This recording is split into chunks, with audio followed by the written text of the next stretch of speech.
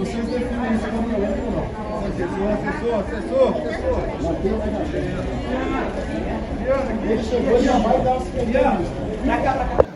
o mais importante é dar os parabéns aos brasileiros que vão votar, aos mineiros que irão às urnas escolher os candidatos com liberdade, com tranquilidade, com respeito nós precisamos fazer com que o país e todos que estão na política, como eu estou, nós fazemos com que a gente caminhe sempre na tolerância, no diálogo, na democracia. Nós não podemos levar o país ao radicalismo e a um antagonismo em que as opiniões não são respeitadas. Nada disso.